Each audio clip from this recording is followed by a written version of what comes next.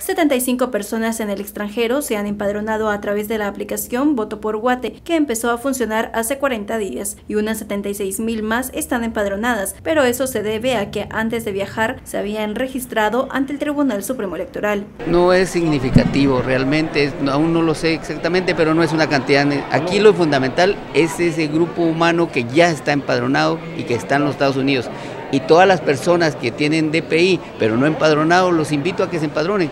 Media hora para empadronarse, creo que es factible poderlo hacer. Para empadronar a más guatemaltecos en el extranjero, el TSE planifica con líderes migrantes hacer giras de trabajo y enseñar el uso de la aplicación. Las condiciones son totalmente distintas y por eso en los primeros 15 días de febrero estaremos viajando para poder coordinar con ellos tal vez algunas jornadas de poder empadronar, empadronar masivamente. Ojalá se pueda dar. ¿Quiénes van a viajar? ¿Hacia qué lugares y por cuánto tiempo? Aún no lo hemos establecido porque ellos son los que lo están coordinando. Eh, muy probable seré yo el que tenga que viajar para explicar este sistema.